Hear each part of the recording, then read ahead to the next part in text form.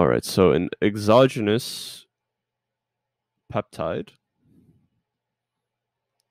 uh, being presented.